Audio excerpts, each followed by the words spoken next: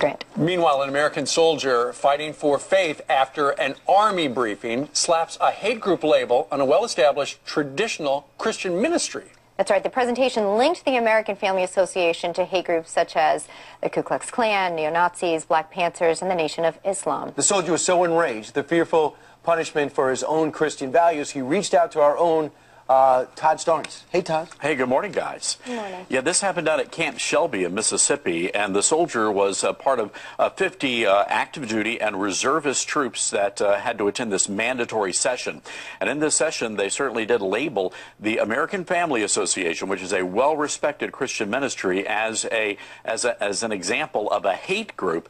And the soldier snapped a photograph that he sent me showing the the slideshow presentation that uh, made that allegation.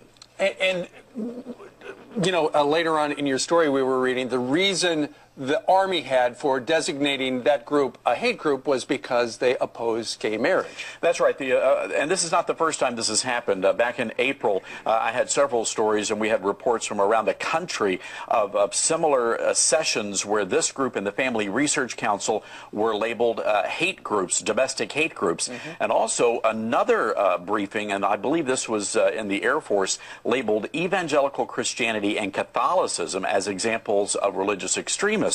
So uh, there's something going on here. The Pentagon, we tried to talk to them. They told us we needed to talk to the Army.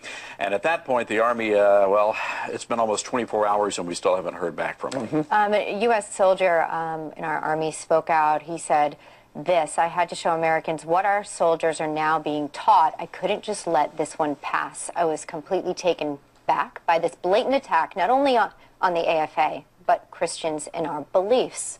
Your thoughts on that? Elizabeth, uh, for the past five years under the Obama administration, we have seen a significant increase in anti-Christian rhetoric and activity in the in the military. We know that this is coming from civilian lawyers at the Pentagon, and many of the troops are are very very nervous about their careers. We've talked to so many soldiers who say they're going to be getting out of the military as a result of this anti-Christian activity that seems to be directed specifically at Christians. But here's what I find interesting, guys: not in any of these materials materials do we see anything about Islam. It's, it's mm-hmm. always about evangelical Christians or Catholics. Labeled as ra radical and extreme. That's right.